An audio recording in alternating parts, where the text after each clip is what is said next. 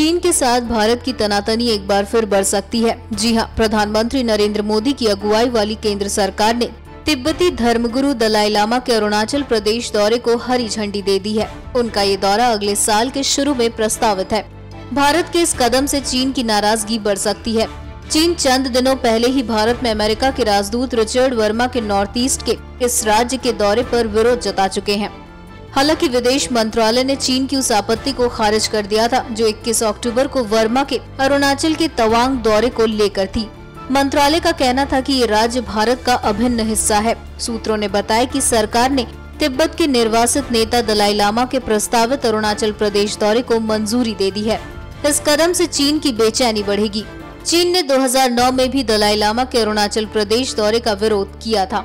मौजूदा दलाई लामा उन्नीस सौ उनसठ में तवांग के ज़रिए चीन से भारत पहुँचे थे।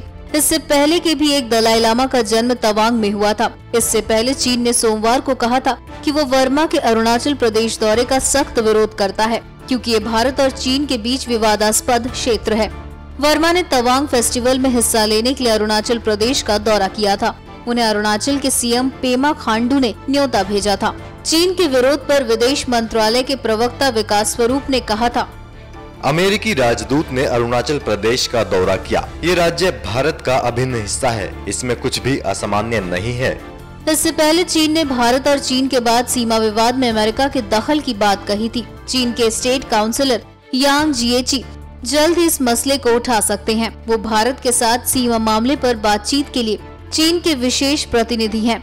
यांग के साथ बातचीत में भारत पीओके के ज़रिए गुजरने वाले पाकिस्तान इकोनॉमिक कॉरिडोर का मुद्दा उठाएँगे। साथ ही मसूद अजहर के खिलाफ संयुक्त राष्ट्र में चीन से मदद की मांग भी दोहराएँगे। आपको बता दें कि चीन अरुणाचल प्रदेश पर अपना दावा करता है और इसे भारत का हिस्सा नहीं मानता।